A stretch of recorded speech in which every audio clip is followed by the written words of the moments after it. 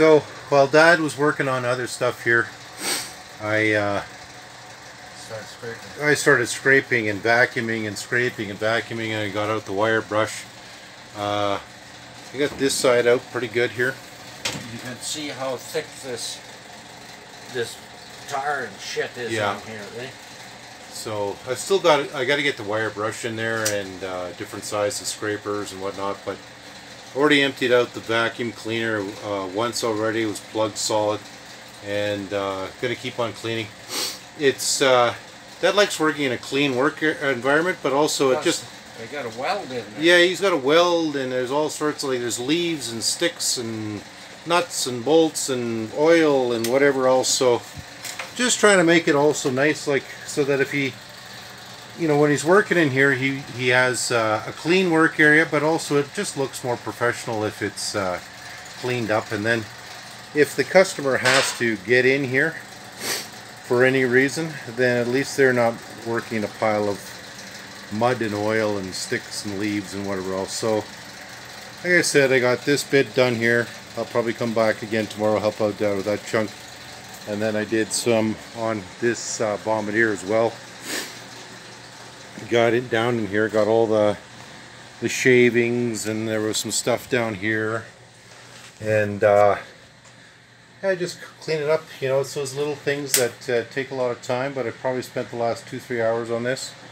But, uh, you know, that's what we're doing. So, uh, was vacuuming up a, a lot of the stuff that's in the uh, Johannesson Bombardier there the other day. I got quite a bit of it, but uh, had to run to town to get a degreaser. But I had to find one that uh, was uh, safe for, for use. So I got this one here. It's uh, in a purple bottle. But uh, just spray on, let it soak in for a minute or two. I've actually gone through quite a few uh, wipe rags already. Got a, quite a bit more to go. But it, what it's good for is it's uh, allowing me to loosen up a lot of those bigger chunks and wipe it up better. And uh, then I can re-vacuum again. There's still quite a bit of crap here on the on the floor of the bombardier. Dad's got some welding to do over here. And the good thing about this product is it's non-flammable.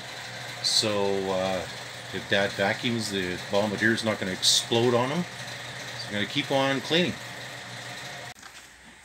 Easy nip it. Okay, so we got five dogs here. Schooner, unknown dog from next door. Charlie, Yeti from next door, and our Daisy Pukatawagan garbage dog. I just bought that bag of marrow bones, and we expect to be out of it in a day or two. Five dog day afternoon. And the cat's around here somewhere.